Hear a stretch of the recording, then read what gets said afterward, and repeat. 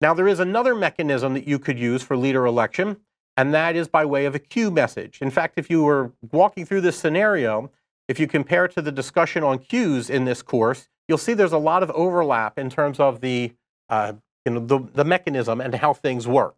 And in fact, we can use a queue message in order to do leader election.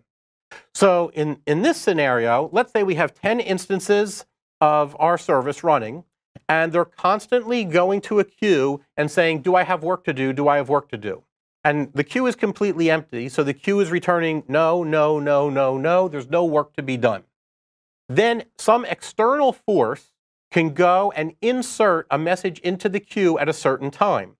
And basically that message could say, I need the billing report produced now. So you put one message in the queue, the 10 instances are now going to race to the queue to grab that.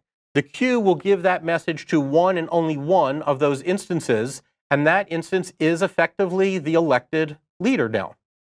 So that instance, in fact, we go through the code, right? So all instances are in an infinite loop while true. They're all trying to dequeue a message from the queue.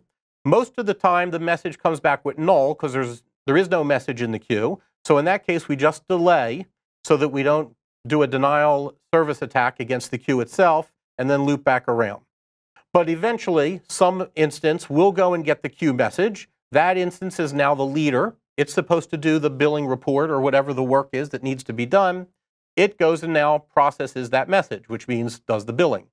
Of course, it may crash in here. If it crashes, then the queue message will become visible again. And then the other instances are looping around trying to grab the message. So now another leader will be elected and it will go and produce that report. Eventually, the report will get done in its entirety, and then we go back to the queue and delete the message.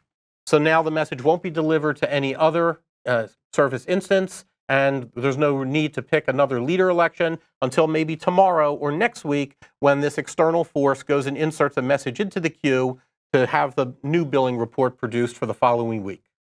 All right, and that's so this is another mechanism that can be used for doing a leader election by way of queue messages.